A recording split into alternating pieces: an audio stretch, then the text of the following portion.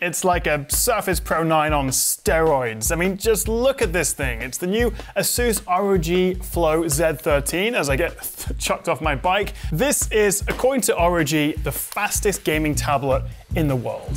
A big thank you to Asus ROG for sending this out for me to have a play with and also partnering with me on this video. And I've got to say, this is one of the most interesting and certainly unique gaming devices that you can buy.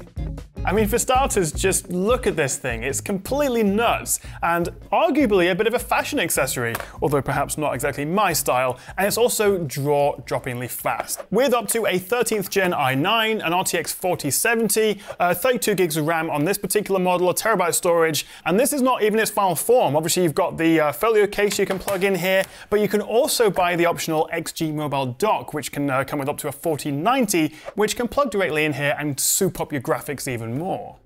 Now, if you're thinking, holy moly, Tom, what is that? I hate it. And you might do. Obviously, design is very subjective and beauty is in the eye of the beholder. Well, the good news is they are also launching a regular, uh, normal Z13 as well as this. This is the special edition Z13 acronym.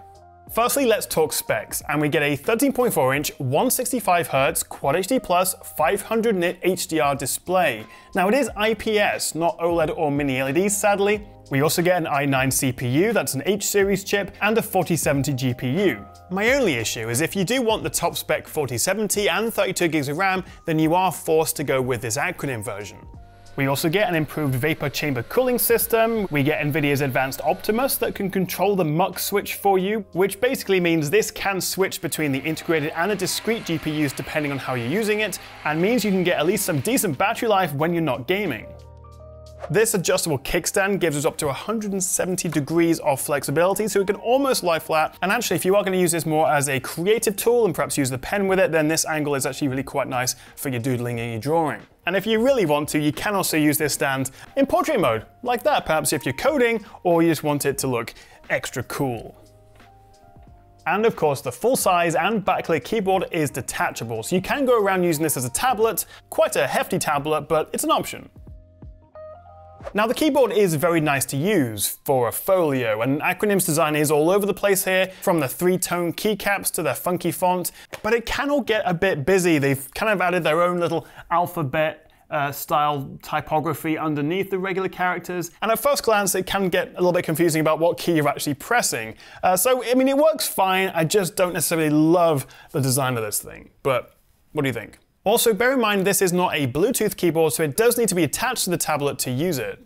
Now, before we get to the gaming performance and everything else, we have to talk about this. It's one of the most uniquely designed laptop slash two-in-one things I've used in a long time. Now, this is the second time ROG have teamed up with the fashion brand Acronym, who specialize in high-tech, cyberpunky slash utilitarian designs and apparel. And as a bit of a fashion expert myself, which I'm sure you'll agree, uh, it is certainly something. The custom aluminium alloy chassis, the CNC machine lines, and the laser etched logos definitely look the part, with the rubber grips and also pretty hefty drop resistant metal bumpers on the corners, adding some function as well as form. Although I'm not overly convinced the internal components would survive a full on drop despite these bumpers. The downside is these chunky bumpers significantly add to the overall size, and therefore portability. And arguably it does look a bit like an industrial prototype, and of course all that metal adds to the weight. We're talking 1.32 kilograms versus 1.18 on the regular Z13. And then once you add the Folio keyboard, this is hefty. But wait, there's more because these little corner bumpers are also uh, where you attach these straps which come bundled with this acronym version. If you've ever wanted to carry your big metal gaming tablet as a bit of a fashion accessory then well, now's your chance. This multifunctional strap acts as a carry handle in briefcase mode, if you just want to carry it by your side, also as a shoulder strap for shoulder mode, so you can carry it like a satchel, or if you really have no shame, in what they call producer mode for hands-free use. Although I must admit I'm a bit more of a chuck it in a backpack kind of guy. They do also bundle this little Velcro pouch, uh, which also has a strap, which is kind of handy for carrying around the power adapter and maybe the pen with it as well. And you can see just how compact and portable this is. It actually fits in the palm of your hand. Uh, and also it's a 130 watt power adapter and it does charge via USB-C. And finally, we also get this acronym edition of the Asus Pen 2, because ROG are keen to stress that despite gamers literally being in their ROG name, this is also meant for creators, editors, devs, designers, anyone who needs a portable and powerful machine with a color accurate touchscreen. You might get a few looks pulling this out in a meeting, but is that a bad thing? Okay, enough waffling on about this design. Let's talk about performance. Just how fast is the world's fastest gaming tablet? Well, bear in mind, despite the impressive i9 and 4070 specs on paper, these are the more efficient mid-range parts in terms of power. Both the H series i9 and the 4070 run at around 65 watts, with the latter benefiting from ROG's 15 watts of dynamic boost. Although the wattage of the CPU and the GPU will dynamically adapt based on the task and also the performance mode that you're in. Also, bear in mind only the storage is upgradable here, so if you are going to buy one, I would opt for the higher spec 16 gig version on the regular Z13, although as I say, this acronym gets 32 gigs. Okay, so let's bring in the results from Geekbench 6, 3D Mark TimeSpy, and also a handful of games, all tested with high settings at native HD Plus, and with DLSS enabled, of course, in games that support it, because I don't know why you'd play without it.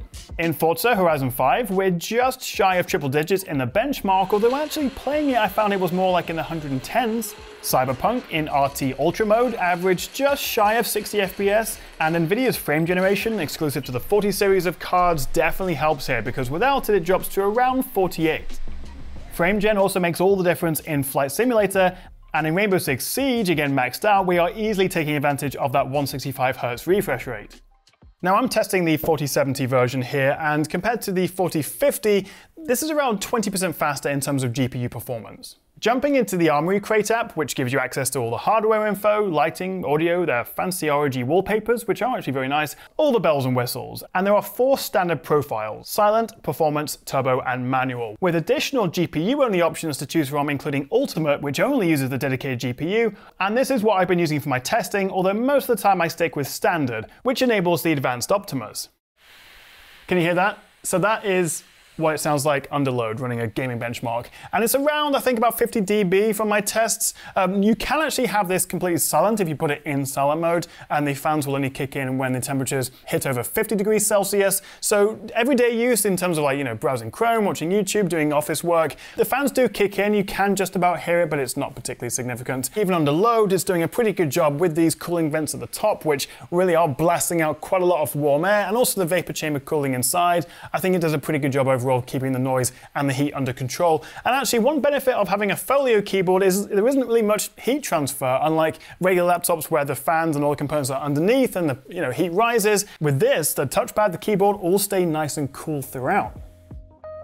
As for battery, well, we have a decent size 56 watt hour cell in here, which I don't think is too bad at all, given, you know, it's a 13 inch tablet. And with the standard profile in regular non-gaming use, I get about five hours, maybe just under five hours from this. Not great, not terrible. Not great, not terrible.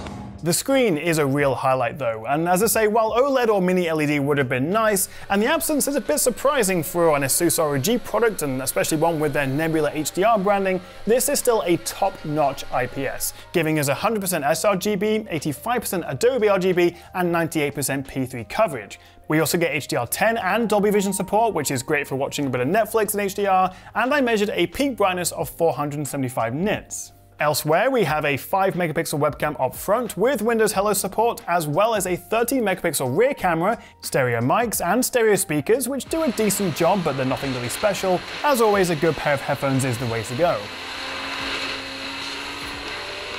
Okay, so let's wrap up and let's start with the good stuff. And it certainly is a very unique design, not least for being a incredibly powerful two-in-one gaming laptop slash tablet thing, but of course also this uh, collaboration with the acronym designer. Lovely display, really impressive performance, 32 gigs of RAM on this particular model is nice as well. It stays pretty cool and quiet, and it's also relatively portable. I mean, for a gaming laptop, although these chunky bumpers and the added weight of this metal chassis does certainly make it a bit more of a chunky monkey than the other regular Z13, Which brings me to the bad stuff, and you may absolutely hate this design and also not really appreciate that it does add that extra bulk. Battery life is not great at all, it is very average, and it is also quite expensive. Now this is going to start at around $1,750 or about £2,000 for the 4050 and go up from there, and I believe this acronym model will start around 2,500, or slightly above uh, in the US. I'm not sure about UK pricing, but I will uh, update pricing and leave links in the description below if you do fancy checking this out.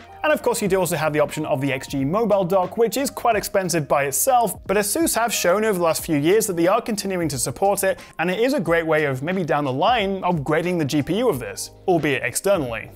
But what do you reckon? Would you be tempted to buy something like this? Or do you think perhaps it's a bit of a gimmicky design? Let me know what you make of the Flow Z13 in the comments below. If you enjoyed the video, a like and subscribe would be very much appreciated, and I'll see you next time right here on the Tech Chap.